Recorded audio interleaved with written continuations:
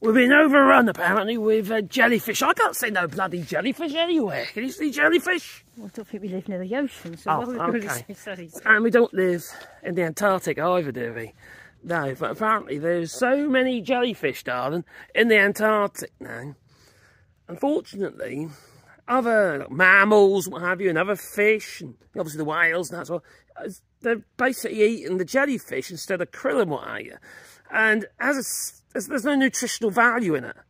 So what's happening is we're having malnourished fish and little mammals, you know, in the sea, and other other other animals such as polar bears and the seals, and they're all eating this stuff, and then become, they're, you know, they're also becoming malnourished. So it's a bit of a chain reaction because there's too many jellyfish. And why is that? Well, it's because the global sea temperatures are rising. You know, we were warned, weren't we? Soon we'll be eating feckin' jellyfish.